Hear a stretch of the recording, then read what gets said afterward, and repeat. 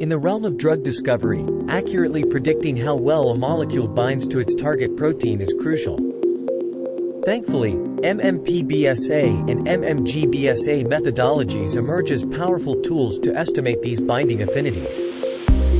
Both delve into the world of free energy calculations, dissecting the energetic forces at play when a ligand meets its protein partner.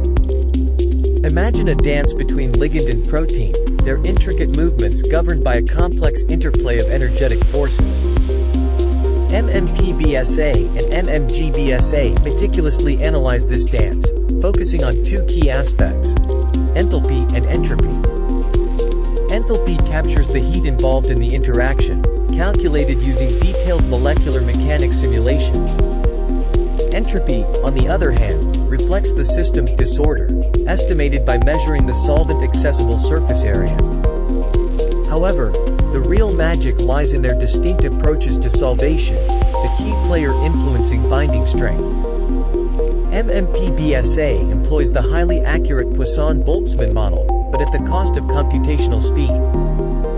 Its counterpart, MMGBSA, adopts the faster generalized Born model, sacrificing some accuracy for efficiency.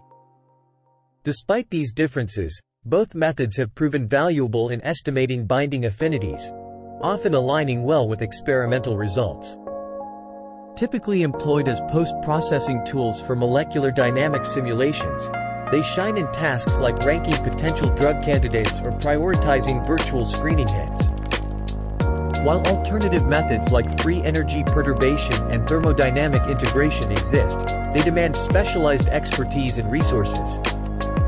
In contrast, MMPBSA and MMGBSA offer a simpler and more efficient approach, making them versatile tools for drug discovery endeavors.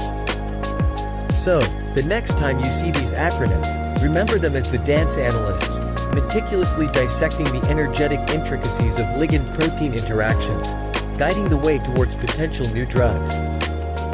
Thanks for watching.